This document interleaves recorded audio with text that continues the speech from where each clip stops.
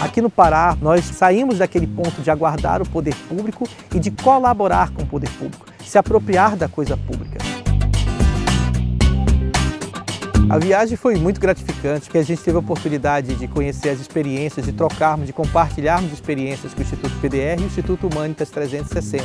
No primeiro dia foi possível conhecer o projeto Catamor, que é um projeto voltado para a redução de danos ambientais, sociais e econômicos em relação à má gestão do lixo da cidade, que vai desde o aumento da renda do próprio catador, como também uma força-tarefa da sociedade para reduzir os danos. Não é um projeto isolado, está articulado a rede Nossa Belém em prol do desenvolvimento justo e sustentável da cidade e engloba várias parcerias, como Reciclar Mais, do Instituto Lachaster, que busca aumentar o verde da cidade. A rede Nossa Belém tem uma, uma atuação muito forte na área de segurança pública, que não pode ser pensada apenas na prisão. Existe também a preocupação com os caminhos de retorno do indivíduo em conflito com a lei à sociedade. E a COSTAF foi visto como um belo exemplo disso. Mulheres dentro de um presídio, fazendo um trabalho muito bonito, de qualidade, gerando renda e oportunidades e sonhos para que elas possam retornar à sociedade. E essa cooperativa, ela foi um remédio na minha alma.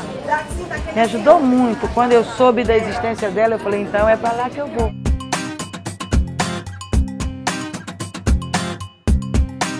O que me faz continuar é quando eu encontro uma dessas mulheres na rua e elas me dizem que elas estão vivendo e sobrevivendo e sustentando essa família com o que elas aprenderam aqui dentro.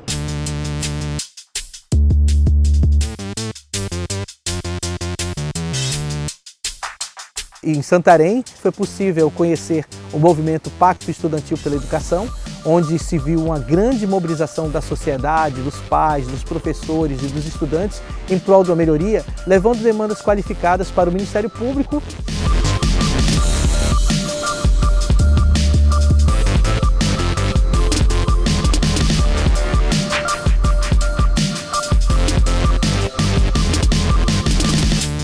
O aplicativo ele ajudou e ajuda bastante a gente ter noção, né, e principalmente para o Ministério Público saber o que realmente é servido na escola. O Observatório Social de Belém é uma associação para promover a educação fiscal, mostrar a importância do imposto que nós pagamos. Isso nós fazemos através do monitoramento da gestão pública do município, do gasto público. O Observatório traz uma solução e um meio e um conjunto de sonhadores para fazer essa transformação de uma realidade.